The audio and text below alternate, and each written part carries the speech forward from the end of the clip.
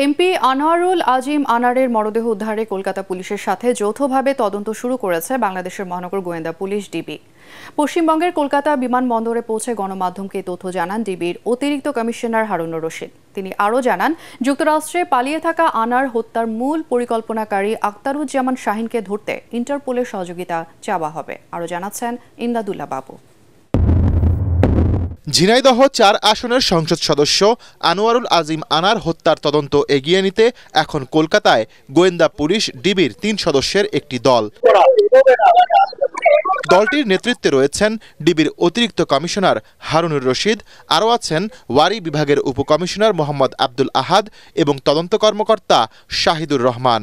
রোববার কলকাতায় নেতাজি সুভাষচন্দ্র বসু আন্তর্জাতিক বিমানবন্দরে নামার পরপরই ভারতীয় বিভিন্ন গণমাধ্যমের মুখোমুখি হন ডিবির অতিরিক্ত কমিশনার হারুনুর রশিদ।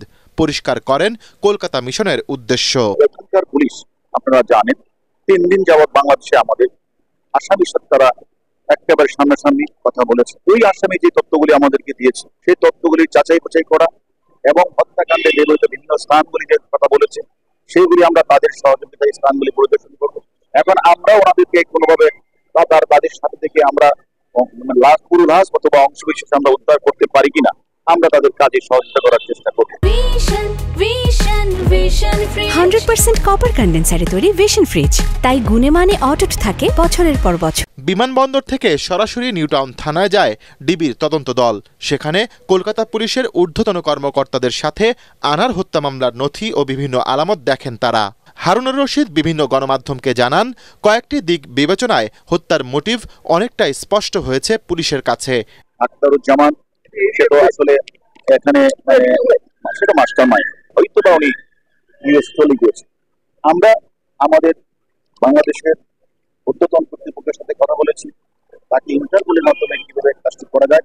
গত বারো মে পরিবারকে চিকিৎসার কথা বলে ভারত যান সংসদ সদস্য আনার।